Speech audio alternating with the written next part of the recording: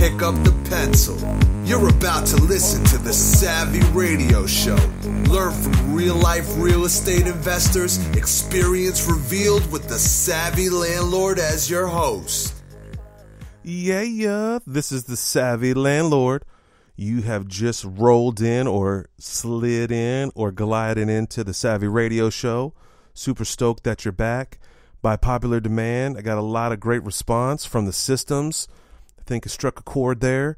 There's a lot of people that have been frustrated with life. They're not growing, they're not going to the next level, is because they keep repeating the same thing over and over again and trying to get a different result. You can't, it's impossible. So, how do you do that? How do you step aside? You get someone else to do it, you delegate it, and how to delegate it, you create a system, a plan, or a program, or whatever you want to call it, steps. And the soon as you do it, the soon as you create a system or a process or a procedure, you can get on with what you want to get on with in life. All right, so no further ado. Anyway, let's just recap. Hopefully, you've listened to the episode a while back about how to create a system. You got to create, you got to brainstorm, you got to come up with ideas, you got to sequence them, put them in order, type them in, write them out, screenshots, whatever you can do, get them on paper, and then have a friend or someone else. I had my mom sit next to me, excuse me, take notes and uh, get it done. And the, the point is, you got to get it done. Simple. So here we go. You got to run it out. All right. So I, you know, sometimes I name them stages. Sometimes I name them step one, step two, whatever. So we're going to call it stages today. We're going to be different. Stage one, pre-qualify. The number one thing, you know, you get a bunch of tire kickers. I, in reality, you know, the, so to avoid the tire kickers, the, or you know, I ask a series of questions. I pre-qualify them. So I have my ad posted up on Zillow or wherever, uh, HotPads, and they send me an email. Is that you know I'm interested in a house. Everyone's interested, right? Well, you need the first thing you got to do. Stage one is I pre-qualify the inquiry. I shoot a quick email right back, and I have a quick email through canned response. So it's in Gmail. Go to Labs and create a canned response. You just just drop down, click a button. So you can open up any email and click a canned response. And my canned response is boom, thank you for your interest in 123 Elm Street. Number one question When do you want to move in? Number two, will you be living by yourself? If not, how many people will be living with you? And three, have you driven by the property? And four, wh- when would you like to view the property? The, the crazy thing is, is, you know, an average house that should sit is roughly less than a month. Okay, two weeks is my ideal situation. A month. That as soon as I post a house, I want that pre-qualified. I want applications coming in in the next day, and so on and so forth. Well, if you start taking phone calls and start fooling around people, oh, I'm not going to move until you know until June. That's six months from now. So it you you just wasted a three minute phone call. Okay, even if you're, you're dumb, if you took the phone call and and then you're real, and if you if you saw that they left a voicemail and you transcribed it and you call them back and they're like, yeah, I'm not gonna move until the end of the summer. I, we have a, a property that's right by college, and we get this all the time. You know, I'm graduating in June, and you know, I'm looking for a place now, and it's you know, Christmas holiday break. I'm like, listen, it's not going to be available. So just call us, you know, 30 days before or 60 days before and about the property. But the first thing is, when do you want to move in? That's the first question. I just ask them that question. Will you live in by yourself? You know, people tend to fill out an application, one person, but then they got 10 people living with them. You need to ask that. Here's the ultimate question Have you driven by the property? Most people, and a lot of tire, time that's wasted, is like they see that the house is in Oklahoma City $550 for a two bedroom. Oh man. Yeah, that $550 is in the hood. okay. So that same house over in say Edmond is about 950, but over on uh, the hood it's 550. But people from Dakota that are transferring because of an oil job, they see 550 and they jump on it and they've never driven by the property. Here's a caveat for you. Anybody that's out of state, don't rent to them until they see the property doesn't matter what they're saying, doesn't matter where they're transferring, no matter what, they won't like the property. It's nothing like they were. Wherever they're coming from, their home is better than your home. Their their neighborhood's better than their they don't know the neighborhood. Don't don't take any money from anyone from out of state. Well, I'll pay today deposit. Don't do it. Trust me. And then um, when you like to view the home, well, I can't view the home uh, from two weeks to now. When you know, and another question after I pre-qualify them, hey, uh, when will you have the deposit? Well, I won't have the deposit until my tax check comes in. Well, obviously, they're not going to be qualified for the property if they can't even come up with a deposit today, and they're thinking three months from now. It, it's not going to happen. So it's a canned response. Stage one, pre-qualify. Boopy doo. Stage two, step two, whatever, is screening in the office right out the gate, they're approved or rejected. So if they haven't responded to my canned responses, they're not even in my world. But if they jump through that hula hoop, boom. I go to stage three if they're approved. If they're rejected, I do nothing and disregard the application.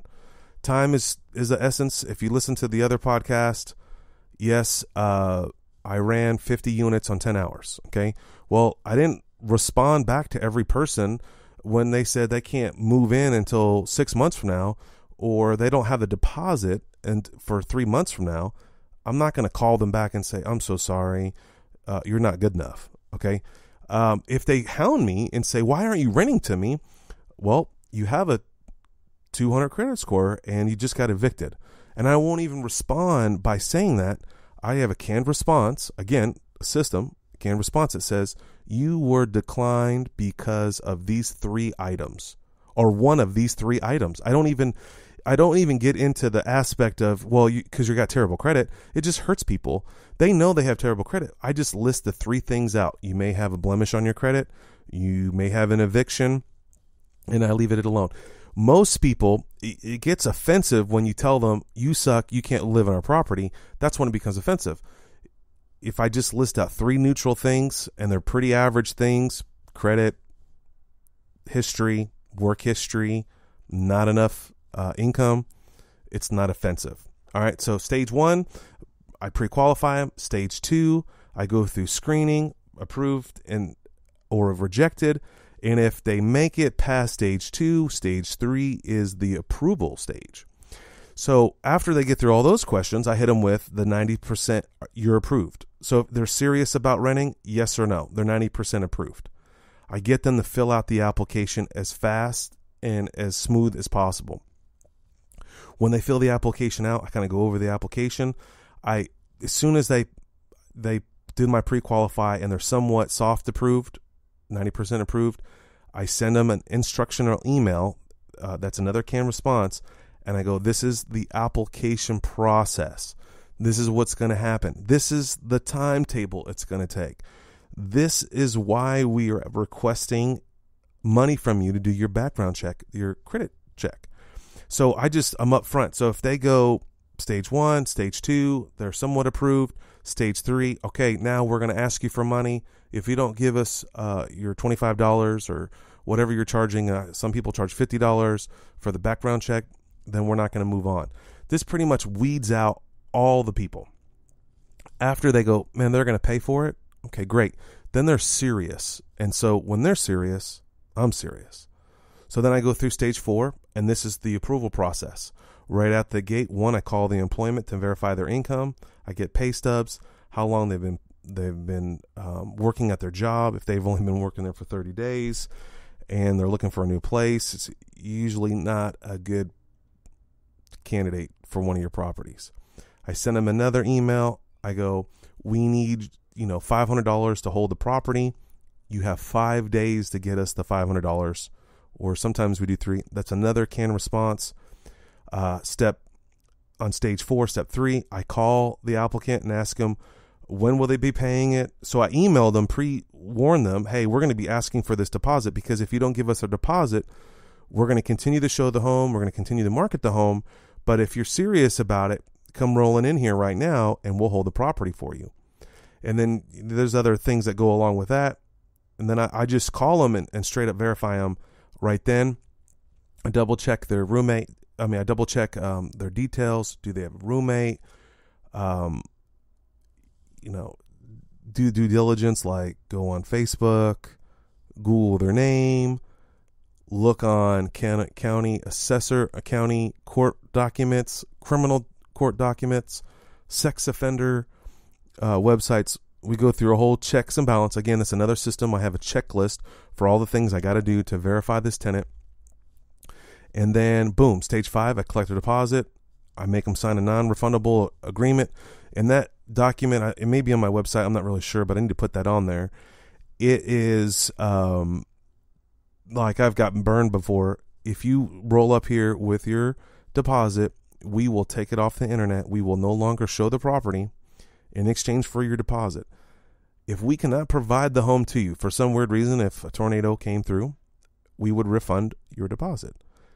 But if um, you decide that you found a better home or you and your boyfriend wanted to elope and live in Las Vegas, you're not going to get your deposit back. Okay. So I make them sign an agreement, and in that agreement, it has a timetable. You have two weeks, la da da da da. Then I create the stage six. I create uh, my lease packet, which is pretty extensive. It's about 40 pages. Then I have a 30 minute lease signing with them, 40 minutes. And then I give them the keys and do the walkthrough. That's pretty much it in a nutshell. The ultimate thing that you should also get one is create systems. Duh. Okay. Create systems pr- provides freedom, but you got to do this. And I don't know. I'm going to make you think about it. What, what is he talking about? You got to have a checklist. That's right. No matter who you are, how amazing, only one unit or a thousand units, do this now. Create a checklist. And on my checklist, I think I have a free checklist on the website go to savvyinvestors.com or savvyradioshow.com or savvylandlord.me uh, or the Savvy Landlord book, whatever. But I have a free checklist on there. And I just go through that after I sign the lease with them. And you would not believe how many times I forget to photocopy their driver's license. I do. I, I get so consumed them uh, with I just rented out another unit at six hundred dollars a month. That's seven thousand $200 a month for my family. Okay, now of course minus you know PITI and all that other jazz, but when I when I have a I call a lease signing party, I get juiced up because they may go on for five years. They may be a thirty five thousand dollar person. When they come into the office, I offer them water and I say, "Yes, let's sign a lease." Now uh, I'm I'm pretty abrasive up front, like we don't tolerate no late payments. But in back of my mind, I'm like, this is this is a seven thousand dollar transaction, seven thousand two hundred dollar transaction. And with the seven thousand dollar, two hundred dollars transaction, you get a little excited. You forget the small details, like did you give them all the correct numbers? They need to call OG&E. They need to call the natural gas company. Did I take photos of the property? Oh no, I forgot. I'm going to run over there. Did I explain to them about the air filter situation that they need to change your air filter out once a month? Did they sign the smoke detector addendum? Did they sm- did they sign the mold um, addendum, you know, all those things that, you know, 40 something documents, you may slip your mind. But if you have a quick one page checklist, which is on our website, check it out for free. Um, it will save you tons of time and it will give you freedom. Anyway, this is Steve VanCauwenbergh. I'm the Savvy Landlord. You're listening to the Savvy Radio Show. If you like what you heard, spread the word. Um, leave a comment, email, text.